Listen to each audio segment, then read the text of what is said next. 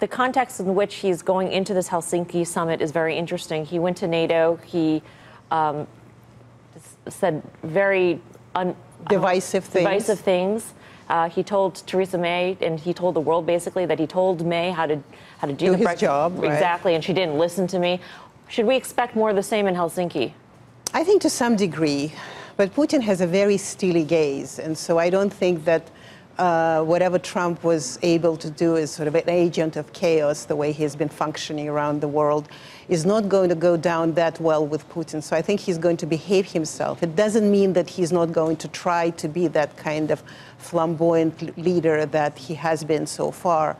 But uh, Putin is very good at controlling his own audiences, and Putin at this point feels that Trump is his audience rather than the other way around. The other world leader that he uh, dressed down in recent days is Angela Merkel.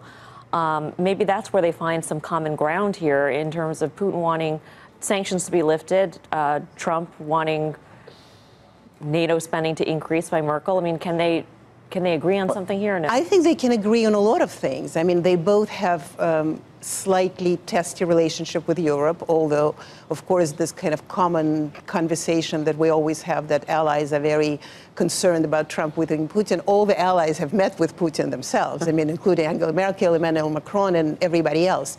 But I think that they can agree that uh, Europe can do more whatever it means for Trump is that NATO is that they can pay their share in NATO, and for Putin can do more is that they can be accepting of Russia more, and the fact that uh, Russia has its own interest. I mean, in your previous segment, you had a very interesting conversation about Britain, that Britain doesn't like to be dictated by America or other countries. Well, Putin also doesn't like to be dictated. And so I think that they can agree on, on that kind of uh, approach to the world.